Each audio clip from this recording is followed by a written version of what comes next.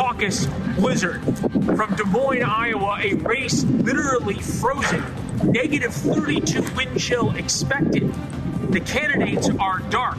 Every playbook has been thrown out the window by this storm. The dominant storyline for 2024 will be the weather. Welcome to the Ferris Show on television tonight from inside, thankfully, in Des Moines, Iowa.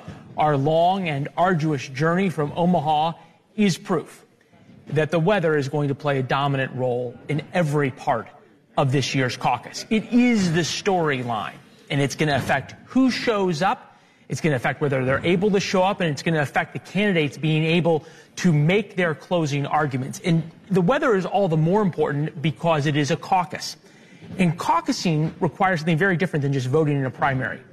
You got to drive through the snow on a bitter cold Monday night. Then you got to stand around for a few hours inside the local VFW hall or a local gymnasium. You got to write the name of your candidate on a ballot. You got to turn it in. You got to wait for it to be counted. Several candidates have canceled their final campaign events today. These were their chances to make the final arguments and those cancellations could very well continue into tomorrow. There's a good chance the weather is going to continue to deteriorate.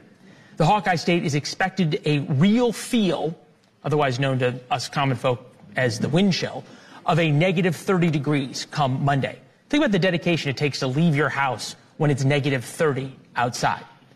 Yet at least two of these candidates, unsurprisingly, say they expect, dot, dot, dot, they also need their voters to show up our voters uh, are people that are, com- by and large, committed caucus goers. Um, you know, they've signed up with us. You know, they're in it. They're going to turn out. It's going to be negative 15, but I'm going to be out there, and I want you to go out there. So Monday is going to be a test not only of the candidates' organization, right, their ground game, but not necessarily their breadth of support, the top line number, but the depth of their support. Bob Vander Plaats, he's the most evangelical evangelical leader in Iowa. He argues that the challenge of the weather and turnout favors DeSantis specifically. If you believe the ground game, there is a potential he could upend the former president in Iowa. He has by far the best of the ground operation I've seen. Now, Vander Plaats is, of course, biased because he has endorsed DeSantis. If we're to believe the polls, it's a battle for second place. The polling average from our partners at DDHQ show President Trump leading by 37 percentage points. Nikki Haley, second, followed by Ron DeSantis. We've seen a switch between Haley and DeSantis in the past couple of days. History tells us whoever does well in Iowa will likely see a boost heading into New Hampshire, which would prove crucial for Nikki Haley. For someone like Ron DeSantis, a third place finish could be the end of his campaign. And for the elephant in the room, former President Trump is going to look to avenge his second place finish in 2016. We start tonight with the state of play on the ground 96 hours from the caucuses. David Drucker, senior writer for The Dispatch, Iowa State Senator Mike Bousselot. Gentlemen, good to see both of you. Uh, Mike, start with you. Uh, you've been here for a while. I get the feeling, even in my drive from Omaha to Des Moines, there's something happening just underneath the snow that the polling may not be picking up. Listen, I think what it's not picking up is Iowans are excited. Even on a cold night, people are going to come out. And what the polling might not be picking up, because it can't pick up, is that organization matters. And just like in Iowa, whether it's farming or work in general, hard work pays off. That hard work from DeSantis and Trump is going to pay off on Monday night, I think is pretty clear. All right. So, David, the, the name I didn't hear is Nikki Haley, who has momentum perhaps coming out of New Hampshire, but not the hard work. She just hasn't been in New Hampshire. As you've traveled around, is there an excitement about her? There's a lot of momentum behind Haley, right? And that's what she has going for her. She doesn't have the organization that Donald Trump has or that Ron DeSantis has. She does have the backing of a super PAC, America, Americans for Prosperity Action, a Koch affiliated group. They put their grassroots muscle behind Haley. That's why that endorsement mattered. But it's not the same as the Ron DeSantis super PAC Never Back Down that has been knocking on doors well over a million. I think maybe as many as three million. Um, in Iowa for several months, not the same as Donald Trump's organization, which, unlike 2015, is a real professional well-run and extensive grassroots organization. And so I think the question when we talk about second place, well, there are two things to talk about, Leland. One, does Donald Trump get over 50% or not? So that's something to look at. Secondly, the battle for second place. Does Nikki Haley's momentum, which seems to be real, do more for her than Ron DeSantis' ground game does for him? And that's just something we can't know. And the weather that you mentioned is a real wild card. Yeah, it, it, Mike, have you you've been lived here all your life, as I understand it? Have you ever seen this is what a once in a decade kind of blizzard? You know, this is a big blizzard, but the caucuses aren't tonight. And I've heard a lot of people talking about Monday and the cold. Iowans deal with cold. You know, oh, it's the coldest caucus. Well, we deal with February every year. You know, Okay, we get out, we work in this weather, we go out and about. There's going to be Got to plenty take of care of the animals in this weather. Eh, yeah, you got to go out and take care of the animals. You got to go out and go to work, and you, we have time to clear the roads. And frankly, we had a warm December. There's plenty of salt to keep these roads, uh, you know, safe. Iowa has been known to surprise, right? I'm thinking that uh, Obama won in 2008. It totally, totally changed things. Mike Huckabee won here. It doesn't necessarily mean, right, that you're going to win the nomination, but it does sort of change the dynamic of the race. What is it you think, if anything, that has contributed to this sort of change in the race of Ron DeSantis being seen as the alternative to Trump? Maybe nationwide he no longer is. Is he seen as the alternative in Iowa? I think that's the question. You know, Trump is the brand. He's he's Trump. You have the DeSantis organization, which has been here forever, all 99 counties. Gov, you know, Governor Haley, Ambassador Haley, she's been putting the work in as well. But that that organization, as David said, it's a little late to the game. And so, how, can it be made up for with the momentum in the debates and everything else we've seen? And, and don't forget about the base. Um, you know, Vivek Ramaswamy, expectations are low, but there's a group of the base, including uh, former Congressman Steve King, who've sort of thrown their weight behind him here late in the game. Wow. Uh, David, I'm going to read something to you real quickly. This is from Politico. I know, I know a, a rival organization, but I thought it was an interesting piece. Uh, if we've learned anything, it is the laws of political gravity or axioms about elected politics don't always apply anymore. Traditional voting habits have been thrown out the window. Polling has proved unreliable. And yet here we are again, operating with utter certainty that the GOP primary is already cooked. If there is a surprise on Monday morning, uh, surprise on Tuesday morning as we wake up, uh, what's it going to be? Real quick.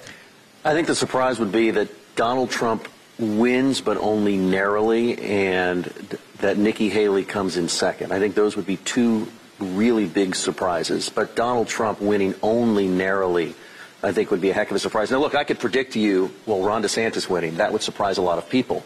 But we could go back. Possible to, surprises. But we could go back to the beginning of this race and say we saw how that could have happened.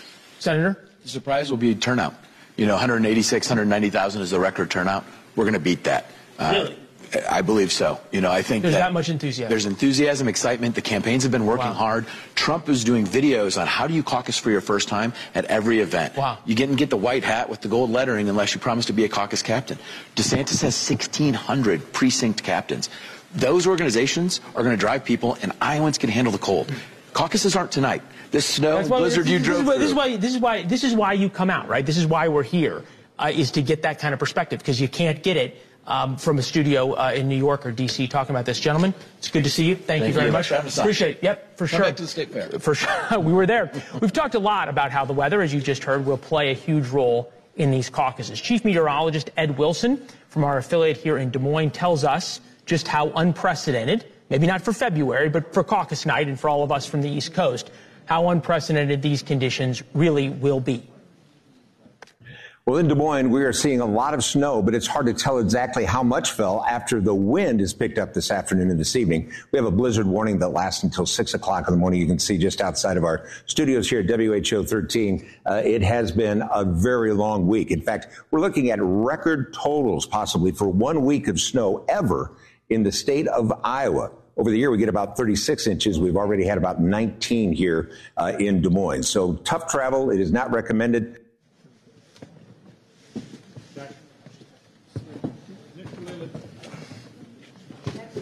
All right, things are different this year in Iowa. For one, the weather. This may be the coldest caucus in history.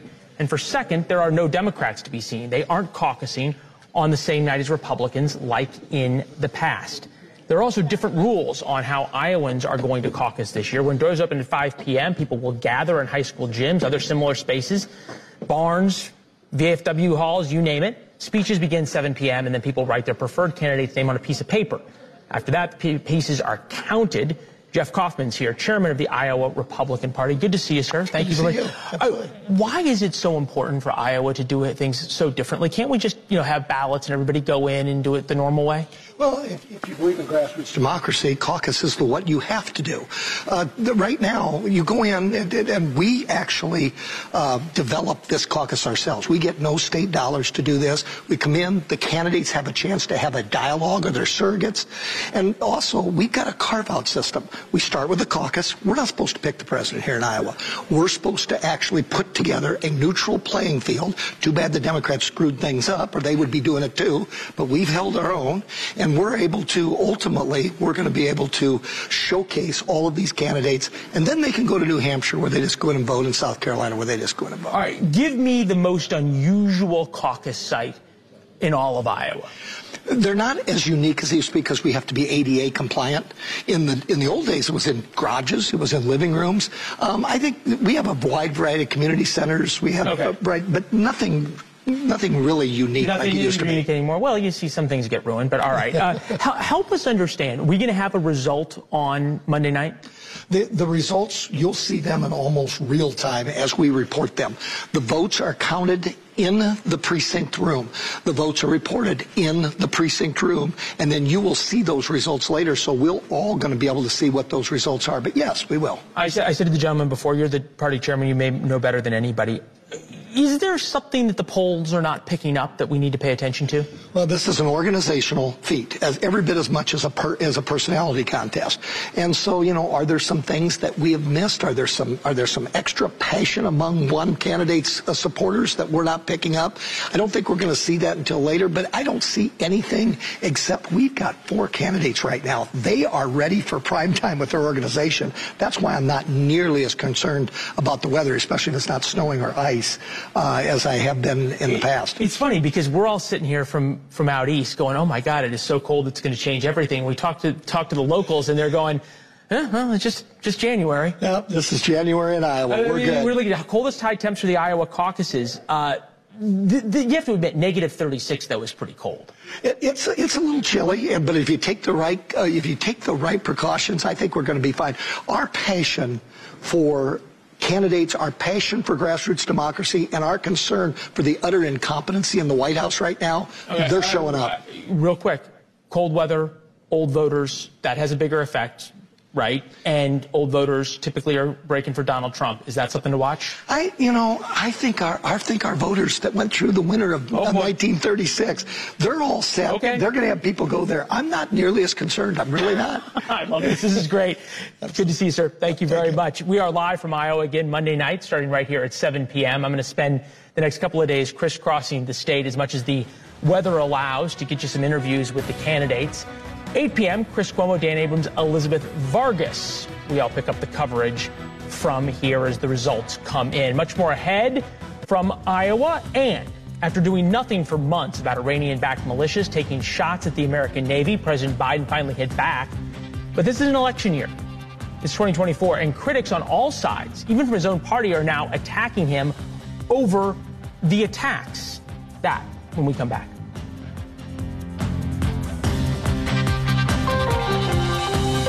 Make sure that we respond to Houthi as they continue this outrageous behavior, along with our allies. As President Biden earlier talking about the U.S. and UK led airstrikes in Yemen. Tonight, we're learning exactly how those strikes unfolded. The joint strike included more than 100 precision guided missiles from submarines and aircraft, including FA 18 Super Hornets. U.S. Central Command released this video of the jets taking off before the strike happened. The National Security Council now says the strikes were successful. They hit 60 targets, 16 different locations run by the Houthi rebels in Yemen, took out command and control nodes, maybe centers, munition depots, launching systems, and weapons production facilities. Some of the Houthis' most sophisticated weapons obviously come from Iran. The strikes come in response to dozens of attacks on cargo ships and U.S. Navy warships. The Houthis have virtually shut down the Red Sea, where 10% of global trade passes through every day. One might think that the president finally taking a tougher stand on Iran and Houthi rebels firing missiles at the U.S. Navy is something that would sort of universally rally support around the president. But the reality is this president in January of 2024, and so far nobody's rallied around it. Republicans say it's not enough. Democrats are criticizing him from the left. This strike has opened him up to strong criticism from the left and right, even some of Americans' allies overseas. Ro Khanna, progressive from California, the president needs to come before Congress before launching a strike against the Houthis in Yemen and involving U.S. or involving us in another Mideast conflict. That is Article 1 of the Constitution. I will stand up for that regardless of whether a Democrat or Republican is in the White House. With us now, Blake Burman, host of The Hill on News Nation. Hi, Blake. Hey there, Leland. How's it going? Yeah, great, great here in Iowa. I say it's bitterly cold and frigid, and the locals go, "Yeah, it's a little chilly. Maybe put on a sweater." Um, help help us understand why there is this disconnect from ordinarily a public and party that would rally around a wartime yeah. president that is now not. You have strange bedfellows here, right? You just mentioned uh, Ro Khanna, of course, a, a, liberal Democrat who's criticizing President Biden, the leader of his own party, for not notifying Congress. And then you even had Matt Gaetz, who's the, the total opposite of a liberal, Democrat, right? A conservative Republican who's on the side of Ro Khanna with this, saying, yeah, exactly, you need to go. Uh, go through Congress here. Then you had, you know, the House Speaker Mike Johnson and uh, the the uh, top Republican in the Senate, Mitch McConnell, essentially backing President Biden on uh, authorizing these strikes and going for, uh, forward with them. Of course, some Republicans are saying, look. You know, this goes to show that the Biden administration's posture against Iran has been weak. They need to step it up. They need to take it more seriously. So it, it, it's sort of strange bedfellows here, uh, Leland, yeah. when it comes to, to the response in Washington. Um, and the decision from the commander in chief. Yeah, you've got the horseshoe of American politics that, that seems to be yeah. kind of coming to be more and more powerful uh, at the at the end of the horseshoes, almost like a magnet uh, from yeah. from high school science class. If you think though about what you said, the word Iran. Interestingly enough, Iran was not mentioned in the president's statement last night. He was asked about a message to Iran, not just to the Houthis, because the, the, Houthis just do whatever Iran tells them to. He was asked about that by the press pool following him in Pennsylvania today. If we have that soundbite, we're going to play it. If not, we're just going to ask you about it. We do have it. Here it is. I've already delivered the message to Iran. They know not to do anything. Hang on one second. He says they know not to do anything. It, it seems to sort of be that same message of don't uh, without the, the next part of it. Yeah, and it, it's part of the criticisms from the right, right? Um, or at least some conservatives here in Washington that he hasn't been tough enough on Iran. Look at the administration's policies uh, over the years uh, on Iran, and that this is sort of a uh, highlights it or, or, symptomatic of it. I mean, it was interesting, Leland, today. Um, uh, the president was asked multiple times about this, um, and, and it was other issues that he talked about. The price of oil, saying, yes, I'm concerned about the price of oil, partly. Um, you know, why, not necessarily why they did it, but he said it's why we've got to stop the Houthis. Um, he was hmm. asked hmm. about, you know, what would you say about members of your own party about the notification process? He said they're wrong. Um, so he, he's been talking about sort of all the other issues here. And in fairness to the president, it's what he was asked about and what he answered. But you're right. Um, you, you, know, it, it's it's not as if he's willing to go. And we saw this, of course, um, at the beginning stages of the Israel-Hamas war. He's not as willing to go to the next level or to the next step as it relates to Iran. At least, yeah, no, there's there's no or else. Right, exactly. Yeah, there's nowhere else attached to it. Uh, Blake, thank you for holding down the fort in D.C. for us. Um, in case anything goes wrong with the signal or any of anything freezes out here, and uh, we'll see you soon. Invite you to sign up for bud. War Notes. Gives you a free look at the show. Oh, thank you. Yeah. Uh, 4 p.m. every day. Go to warnotes.com and subscribe. The notes started uh, as an internal email discussion about the most important events of the day. It gives you a look at our thoughts and what we're finding most important about the day and the most important stories. You get to be a part of it. You can respond to the email with your thoughts or join us on social media at Leland Vittert, Instagram or Twitter. It's warnotes.com and subscribe for free. Iowa is perhaps a microcosm for the problems facing Joe Biden that Blake just talked about. This once purple state has turned deep red. It wasn't too long ago that Barack Obama and Joe Biden carried this state. That was 2008. Now, Democrats are hard to find. The only Democrat to hold statewide office is State Auditor Rob Sand, which won his last election by less than half a percentage point. He's the author of the book, The Winning Ticket, and is with us now. Good to see you. Thank you very How much. are you? Thanks for Good having me. I, I said uh, on, on Instagram uh, earlier, I said, you were the most interesting guest of the evening. Uh, and, I, and I mean that. What is it that you are picking up on and has allowed you to be successful in a state that is moving red? Uh, I would, I would, uh, although the, a lot of election results have moved to the Republican column, I would put a different picture on it. I come from Northeast Iowa. I grew up in a small town of about 7,000 people. Uh, you got to drive an hour to get to a four-lane highway. It's called Decorah. It is in the heart of the biggest Obama-Trump swing county area of the United States: Northeast Iowa, Southeast Minnesota, Southwest Wisconsin. Uh, and, and so I think that I understand those folks because that's where I grew up. That's who I am. And when people ask, you know, how did Iowa change so quickly?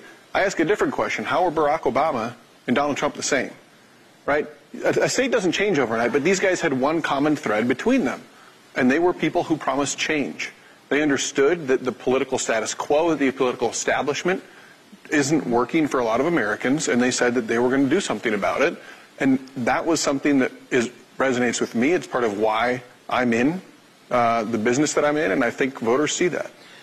You heard Blake talk about how the strikes on a, on the Houthis have made for some unusual bedfellows of the, of the Matt Gaetzes and the Ro Khannas, and we're seeing that also in uh, various other populist threads.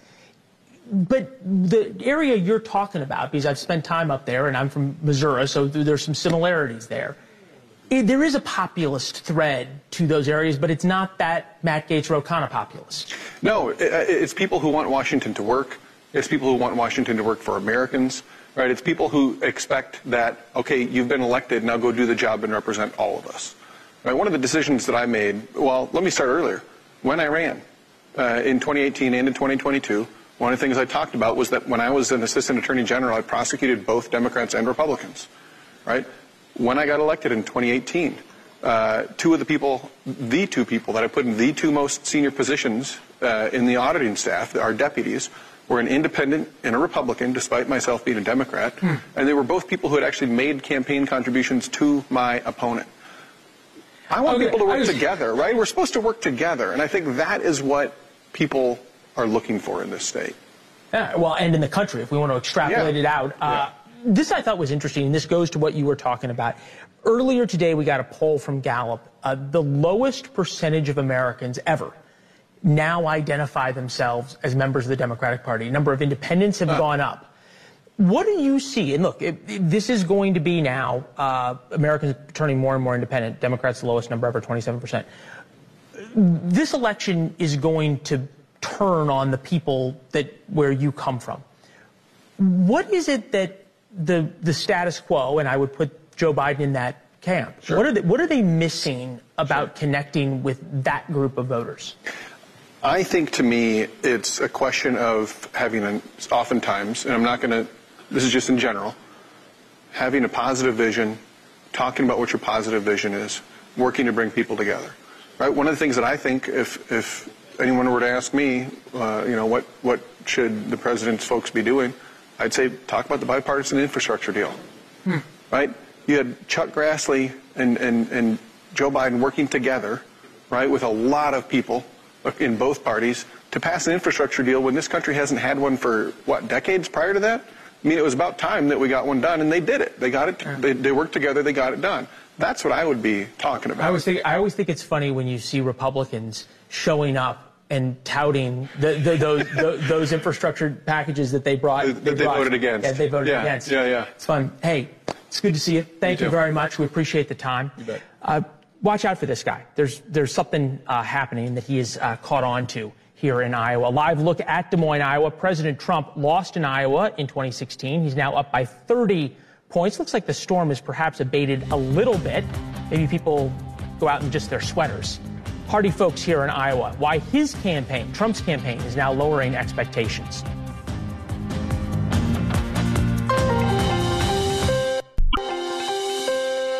he's got basically a Praetorian guard of, of, of the conservative media, uh, Fox News, um, you know, the, the websites, all the, this stuff. They just don't, they don't hold them accountable because they're worried about losing viewers and they don't want to have the ratings go down. Uh, and, and that's just, that's just the reality. That's just the truth.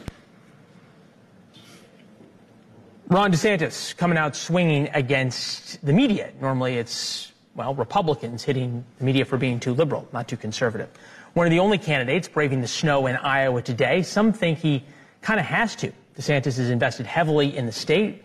Poor showing here may mean his candidacy, well, could be left in the Iowa snow. With us now, Hal Lambert, DeSantis supporter. Nice to see you. Welcome to Iowa. Thank you. Uh, is my analysis too harsh?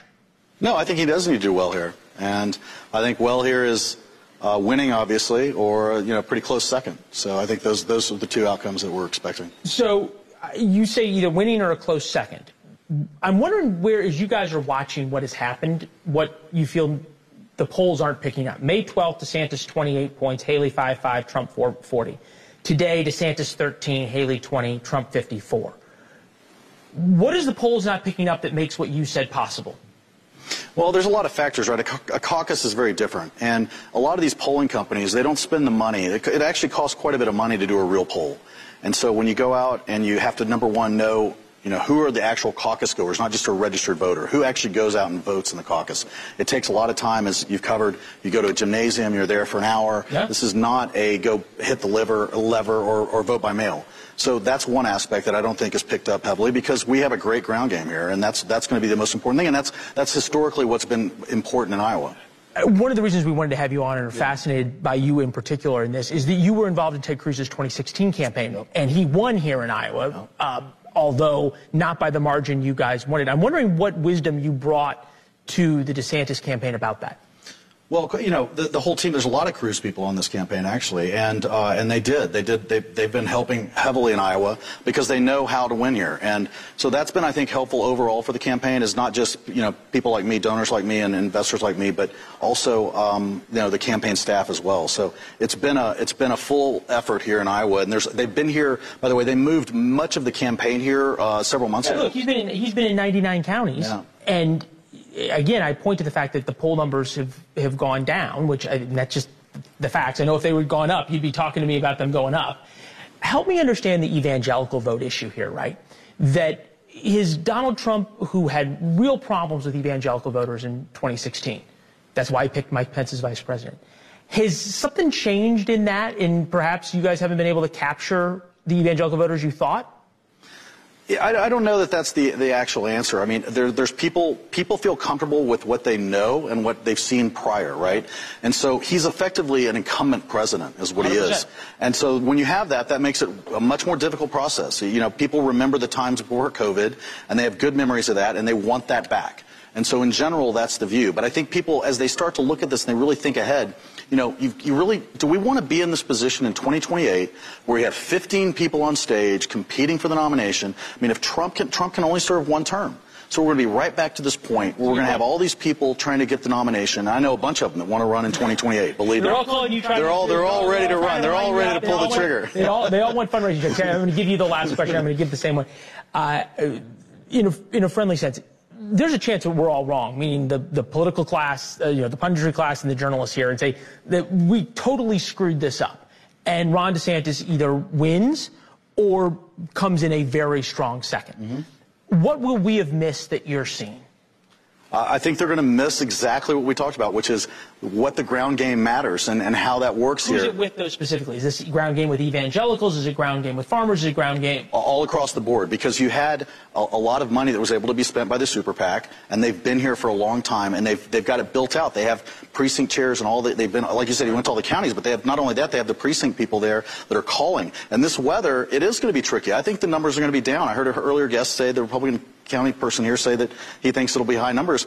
I don't know. I mean, in 2008, it was 110,000 people voted. It was a it was a tough weather period at that time. We could see similar numbers this year, but I think that helps DeSantis because I think these other people are going to be a little bit soft. And I don't know if Trump's helped himself because he's talking about being 30 points up. Well, if you're a, a voter here in Iowa, you may not show up because you're 30 points up. All right. Well, especially if it's 30 degrees below zero. Hey, good to see you. Thank Good you very much. Thank Thanks you for very spending the time. Live look nearby at Waukee, Iowa. Next, the results are in. Everyone packs up. All the gear heads to, well, either heads home or heads to New Hampshire. Well, what started in the sweltering heat of the Iowa State Fair could, for some, end in a frigid night in January. What do the roads out of Iowa, specifically I 80, look like?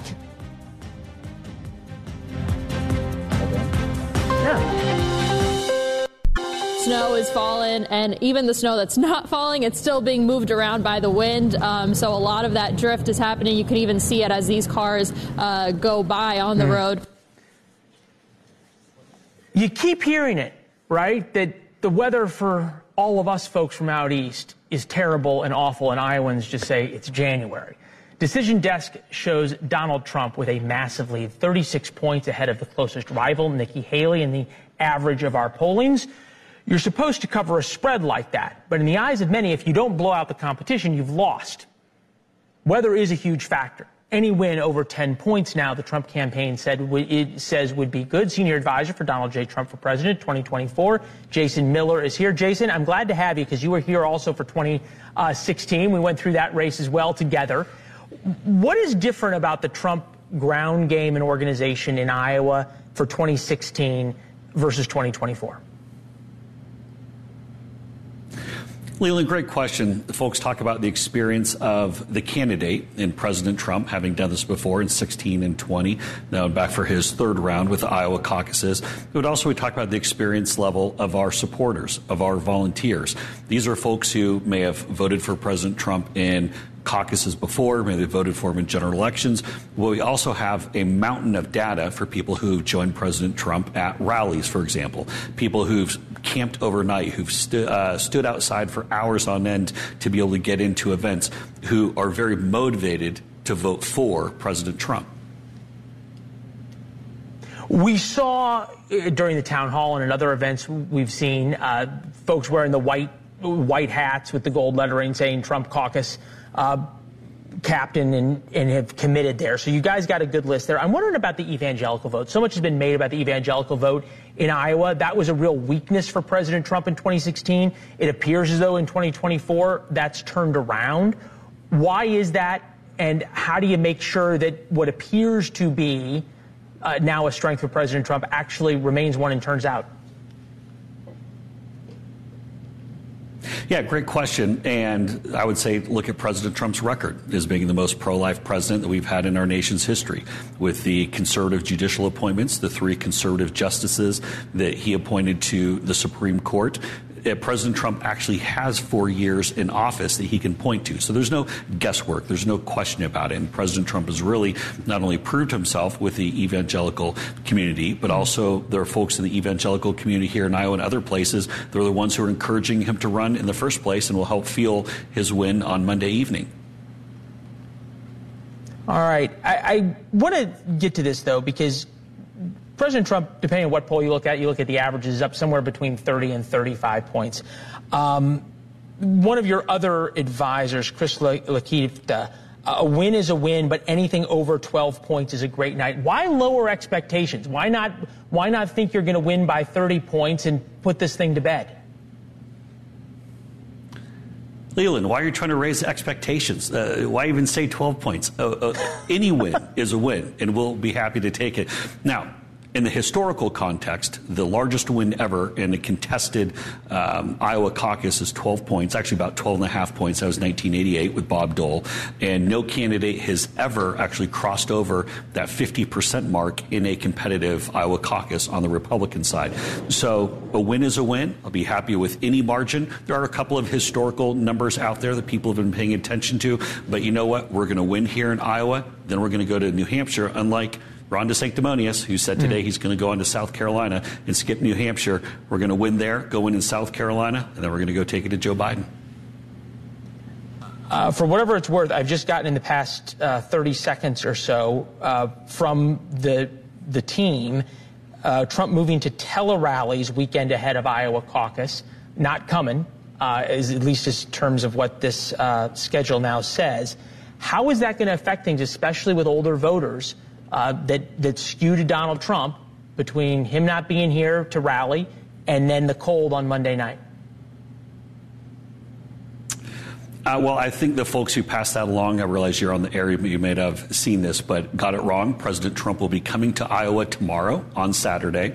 Uh, we'll be having tele-rallies. He's actually doing one at this moment, another tele-rally tomorrow on Saturday. The next rally, the next in first in-person rally will be Sunday, uh, noon Central at Indianola uh, here in Iowa. Uh, so he is coming tomorrow. Got it. Uh, President Trump just put out a video to that extent also. And so we look forward to being here soon. He'll, I'm sure he'll be uh, enjoying the snow with the rest of us before you know it. Oh, well, there you go. We can all be there together. Enjoy the fire behind you. Good to see you as always. Thank you very much, sir.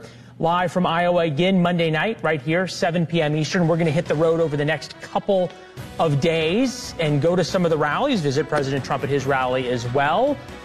8 p.m. Eastern on Monday. Chris Cuomo, Dan Abrams, Elizabeth Vargas join the party for Decision Desk 24. More from a snowy Iowa, but also an incredibly heartwarming piece of good news to share with you when we come back.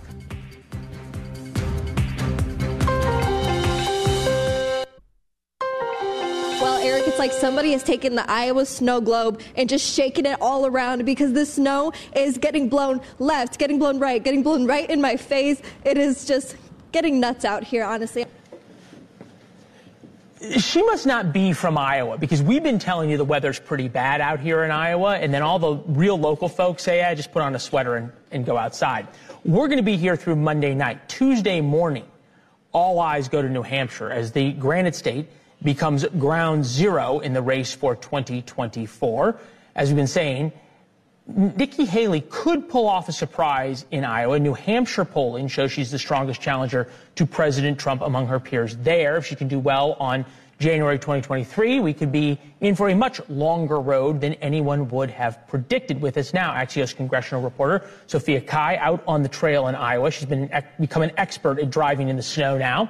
Associate researcher, scholar, lecturer in politics at Princeton University, Lauren Wright. Ladies, nice to have both of you. Thank you. Uh, Lauren, start with you since you're uh, back in, in the studio. Help us understand um, the path, and I know you may say there doesn't one exist, but the path for Nikki Haley out of New Hampshire that makes this competitive?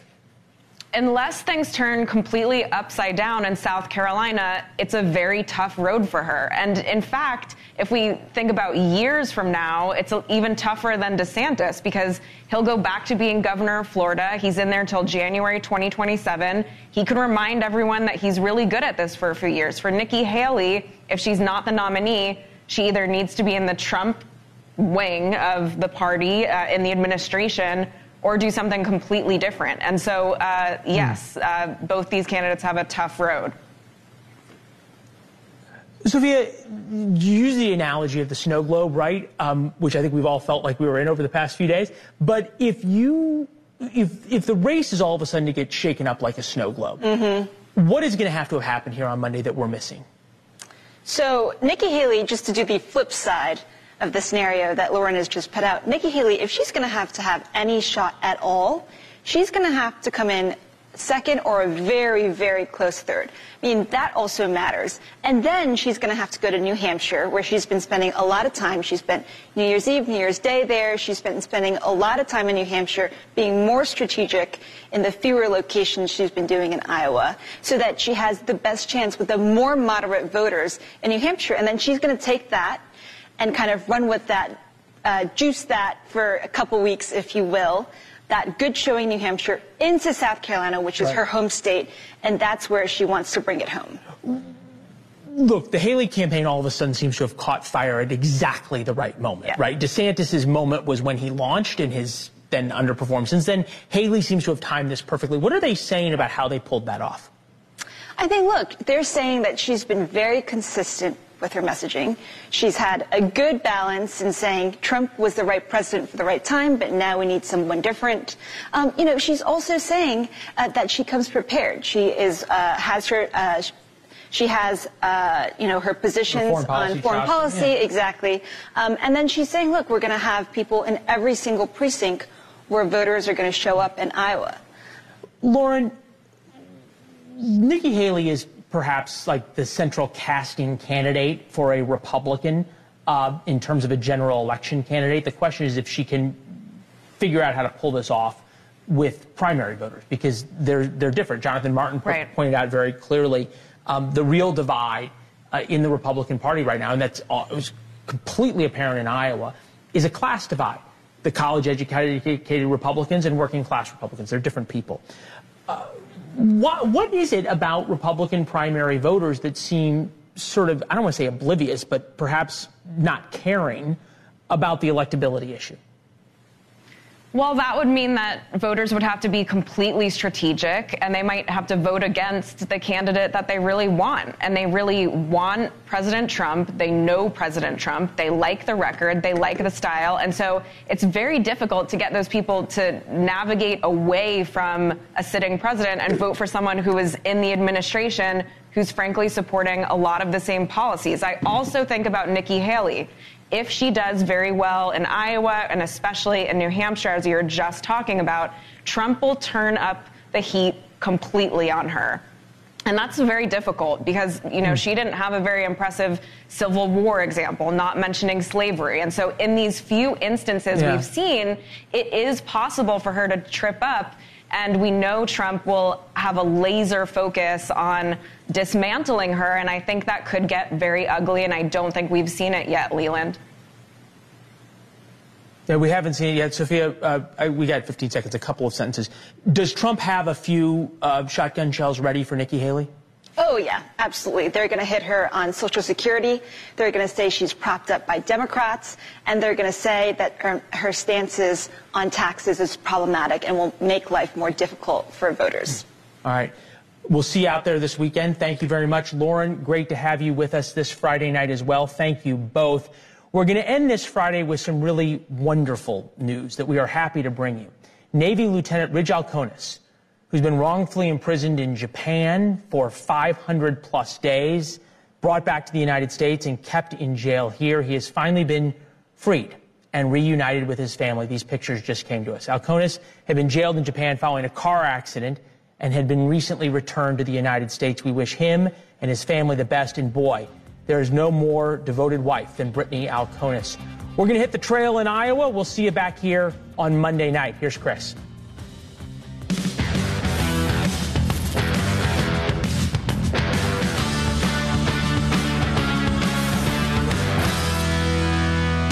Hey, everybody, happy Friday. I'm Chris Cuomo. We're live and we got big news. So, what do you say? Let's get after it. Finally, finally, it is clear that our government has a lot more to tell about UFOs. Today, the top secret classified UFO briefing took place in Congress and it did move the needle. How do we know? We got somebody who was behind those closed doors in Congressman Tim Burchett, aka Captain Carhart.